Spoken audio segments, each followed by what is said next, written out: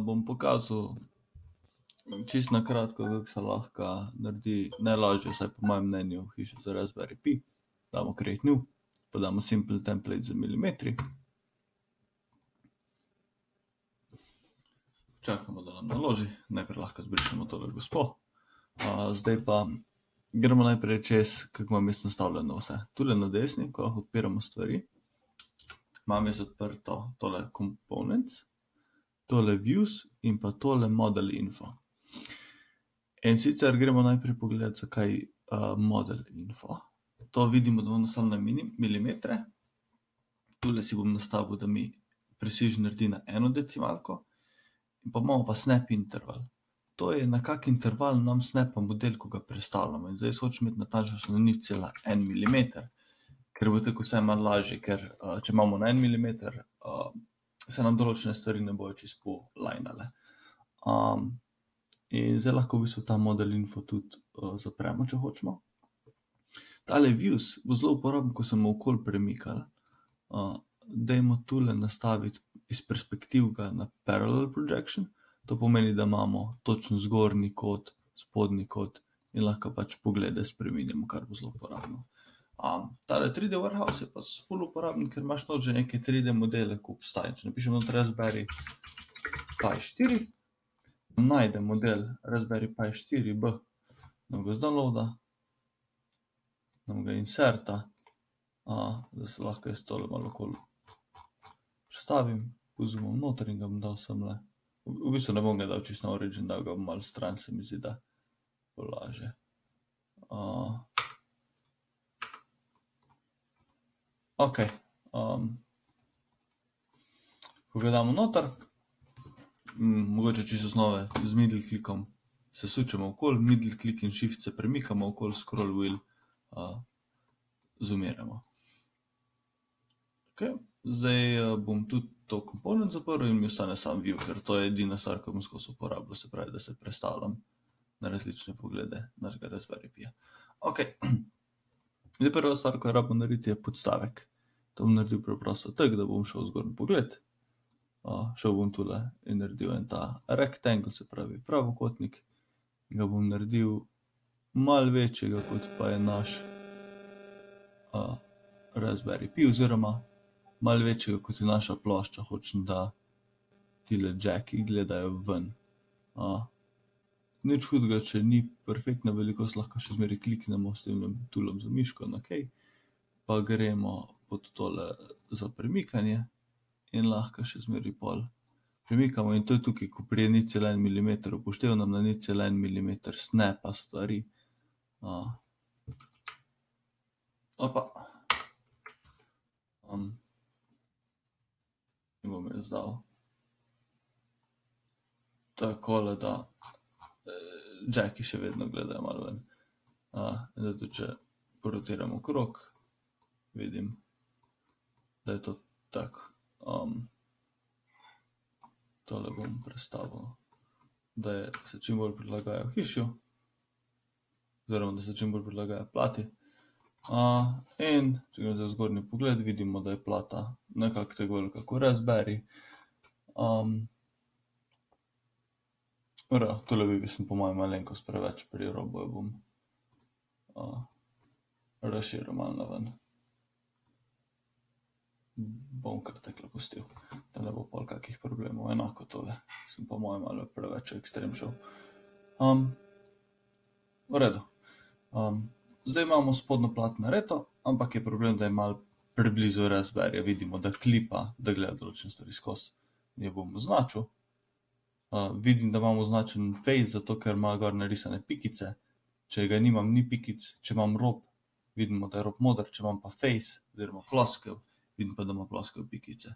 In polk imamo označeno, da označen tale move tool in premaknem dol. In tudi vidim trenutno, da imam na blue axis uh, uh, stikano, kar je kul.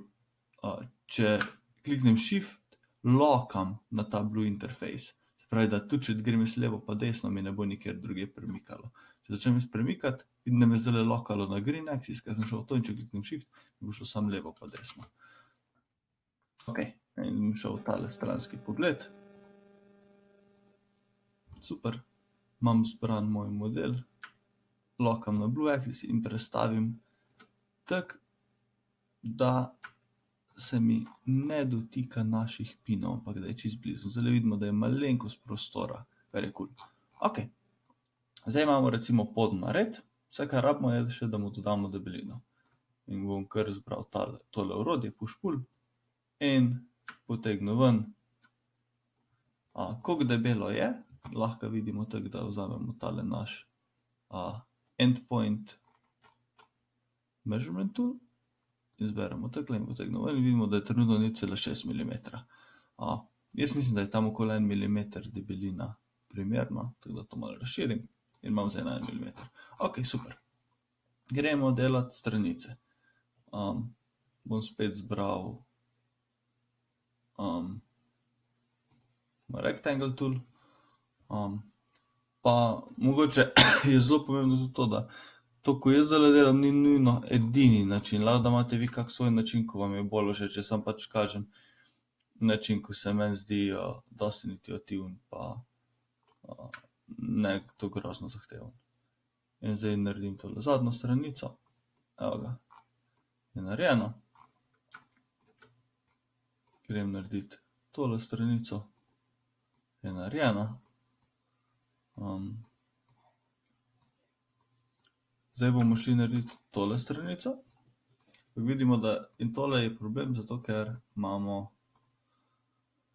uh, porte. Tako da bom naredil stranico. Vidimo, da porti čez gleda, ampak mi moramo še zmeraj imeti lukno tu. Ne? Um, In ko lahko tu naredimo, je, um, da v bistvu narišem tekle, lakam po osi, narišem črto in bom lahko pol zbrisal tale face, oziroma tole plosko tule. Enako bom naredil tule, bom naredil kvadrat, bom pogledal, kje približno Uh, ok, kje približno so te črte, bom zalako po osi. Šel do konca in zarisal. Ok. In da vidimo, da nam je tudi strop avtomatsko naredilo. Zdaj lahko jaz brišem tule. Um, uh, eno stvar še tule moramo še vertikalne črte narediti, da nam zbriše prav vsega. A, takole. Lahko zbrišem zdaj tu. Tole črto vidimo, da smo malo preveč sem dali, to ni problem, mi lahko označimo in premaknemo semle. Super. A, in vidimo, da imamo zdaj lukne za a, tere naše jacke če hočemo, bi lahko še um, vmes naredili med vsakmu pregrade, da se zgleda malo lepše, ampak to bom pustil uh, vam. Um, tudi tule spredi, lahko zdaj tole zbrišem in enako tu bi lahko še naredili pregrade vmes. Ampak to je samo, da vidite, tutorial je bolj to, da vi vidite, kako se lahko dela pol v detajle, pa tudi za ventilacijo hiše in to bom pustil vam. Bom še enkrat zbrisal strop in zdaj, kako bomo mi sploh naredili, da Raspberry not stoji? Ena je, da pa še tole direkt v lukne, ampak kot vidimo, ima tudi Raspberry tu neke lukne za pritrditev, sploh če gremo iz tiče perspektive. In zdaj mi lahko v bistvu naredimo tako neke take huke, kjer bo Raspberry Pi not pasal. in bom zbral tole krogec. Bom zbral, da ga tule naredi. Takle velikega. Ok. Pa bom zaenkrat tudi še tole stranico v bistvu zbrisal. A mi bo malo lažje, vsaj na začetku. Vidim, da mi je naredilo tale krogec tule. Super. Ga razširim gor. pa še lepo v tole luknjo. Hmm. Mogoče je malo prevelika, zato bom preprosto zbral kontrol, zmanjšal, pa jo bom še malo dvignil gor. Okej, kul. Se mi zdi zdaj bo v bistvu Raspberry lepo gor pasal tole. zdaj lahko mi to kontrol C. Gremo sem, kontrol V. Prilepimo, tako da paše not. Poglejmo velikost, vidimo, da ni na tleh. Ga prestavimo.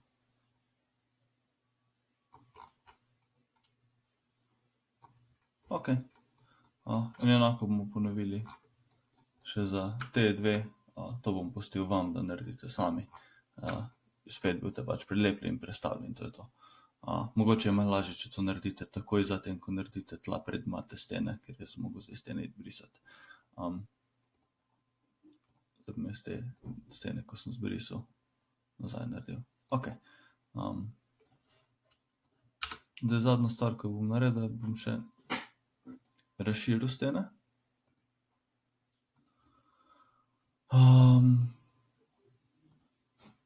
ne vem, če je kaka boljša opcija, verjetno je, pa samo jaz ne vem. Ampak jaz bom to kar s temle našim extrude toolom. Spet vi lahko greste pogledat, da je res en milimeter. Zdajle vidite, da je nič cela pet. Gremo devet, en milimeter, super. In pol se samo prepričamo, da je vse na debelini enega milimetra ven. seveda, če hočete, da lepo izgleda, ne. Okej. Okej, to smo zdaj razširili, gremo razširiti tule spodaj, da bo to lepo alajnano. Evo ga.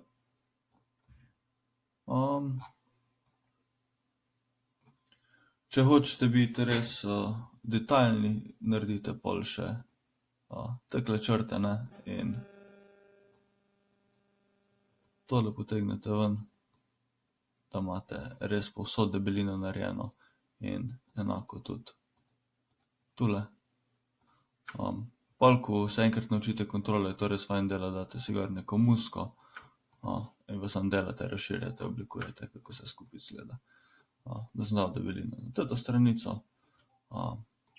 enako bom ponovil še tu, tudi zdaj se ne bom zafrkaval s tem, da je res na milimeter enako.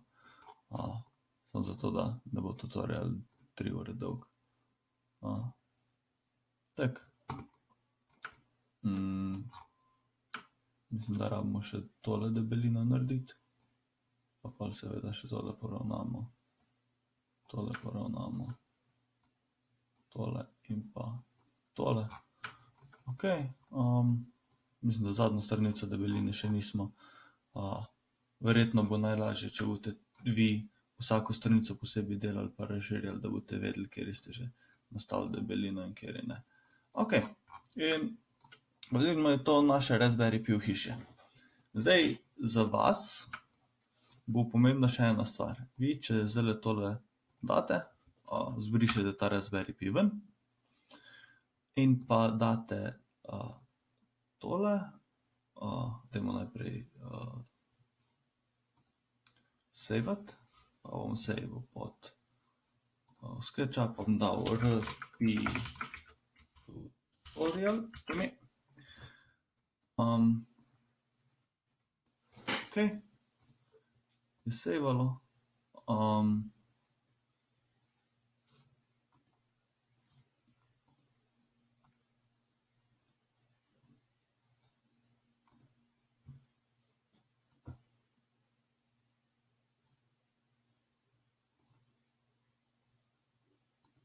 Okej, končno, zdaj sem jaz skril nekam export button. v glavnem, če bi vi to zdaj sprintali, bi bil to en cel trd kos, kar pomeni, da mi tule noter Raspberryja ne bi dobili. To pomeni, da rabite vi ločiti spodnji del in zgornji del. Um, to pa lahko ločite, um, tako da pač uh, date na razen ali pa naredite v dveh delih, to vam bom pustil same, da naredite. Aha, tule zdaj, ko smo noter, tudi vidimo, da na notrni strani tule ni debeline, kar pomeni, da bomo rabili tukaj tudi ploskve še dodati, da bo dejansko debelina uh, na naši steni. Uh, tule pa vidimo, da je, teda tole bo treba popraviti. Uh, v glavnem, morate narediti v dveh delih in pol narediti, da se ta hiša skupaj nekako snapne. To pa se vidi, če greste na recimo Thingiverse, kjer so razne Raspberry Pi hiše, napišete i snap. Videli, aha, evo, tale snap together case. Pa boste videli, je tale recimo narejen, ima tule zarezice, pa pol ima tule tele nožice, lahko še to naredite. Drug način, kako je, pa da je skupaj pritrjen z vijaki. Mislim, da je ta snap together case veliko bolj intuitiven. Um, ok, to je to, za kako zmodelirati Raspberry Pi v hiše.